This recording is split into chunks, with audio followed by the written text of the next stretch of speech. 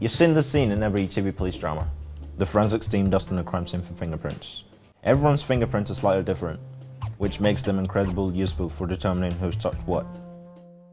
Even though everyone's fingerprints are slightly different, they still fall into three main types of pattern. Loops, arches, and whorls. However, arches are relatively rare, so we're going to group them in whorls for this experiment. We're here to find out whether men and women have different types of fingerprint patterns.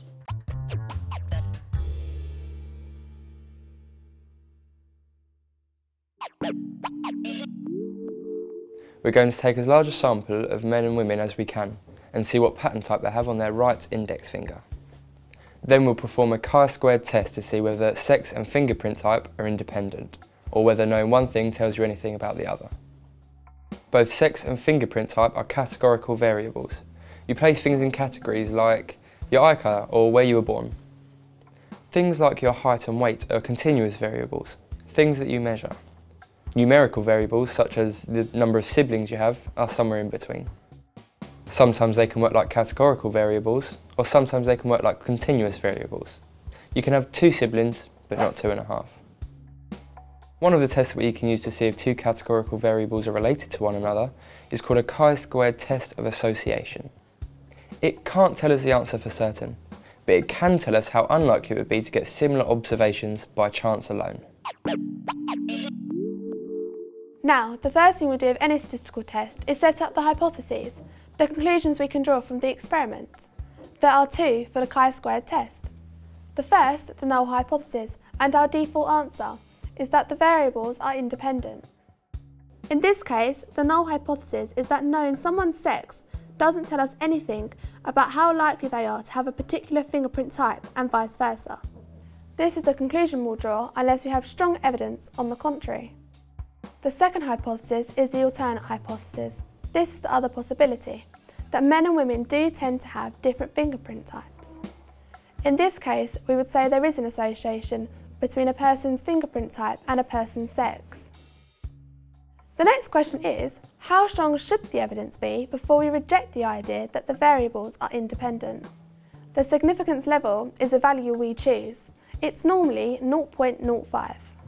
That means if the probability is a more extreme result than the one we come up with, less than 5%, we reject the null hypothesis and accept the alternate.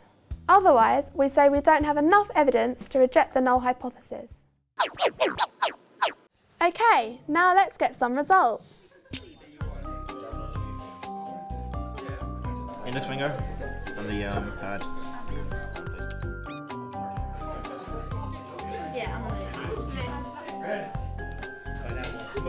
That's a loop. Thank you. Just in. That's a loop. There.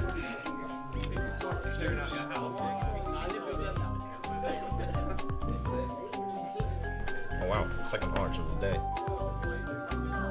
It's a loop. You have a loop.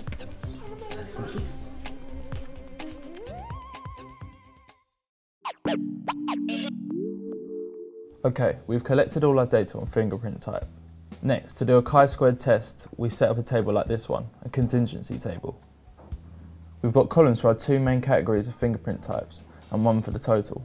And we've got rows for each category of sex, and another one for the total again. Once we've recorded our observations, we put them into the obvious places. In our experiment, 10 of the women had whorls and arches and 9 had loops. Among the men, 11 had whorls and arches and 8 had loops. So, in the total boxes, guess what? We add up the numbers in the corresponding row or column. From our data, it seems like women might be more likely to have loops than men. But is this due to random chance in our experiment? To find out, we also need to work out the expected value in each cell, which we get from multiplying the number at the end of each row by the number at the bottom of the column and dividing by the total. So for the women with whorls, that would be 19 times 21 divided by 38, making 10.5. These are the values that would be expected if the relative numbers of fingerprint type were exactly the same for both sexes. They are theoretical values and need not be whole numbers. Then we will work out the chi-squared statistic which will tell us what conclusion we can come to. Today, we'll work it out using a basic formula here, although later on you might meet a Yates modification which is often used for this 2 by 2 table. Oh come on, it's not that bad. You don't have to remember it, you can look it up if you need to. Okay, so for each cell, we work out the difference between the observed value and the expected value, square it, and divide by the expected value. For men with whorls and arches, the difference is 0.5. We square it to get 0.25, then divide by 10.5 to get 0.024. Once we've done that for all the cells, we add it all up to get our statistic, which is 0.52. We're not quite done though. We still need to see how the statistics stack up, and for that we'll need a lookup table.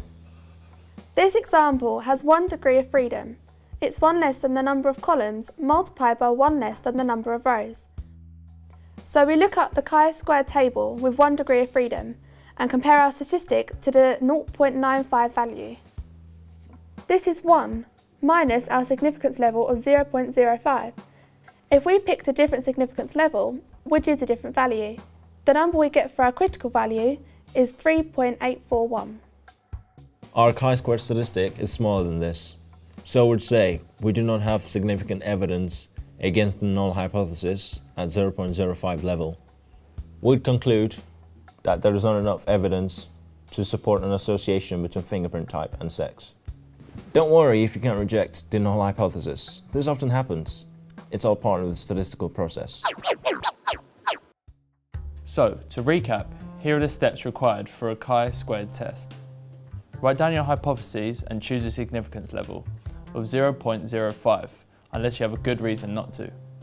Collect your data and collate them into a table. Work out the expected value for each cell and use the formula to figure out the chi-squared statistic.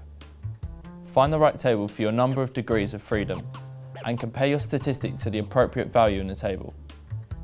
Finally, decide whether to reject or accept the null hypothesis and write down your conclusion. So that's it. Try it yourself and let us know how you get on. Don't forget, you can learn more or download our free online resources at wellcome.ac.uk slash bigpicture. Bye for now.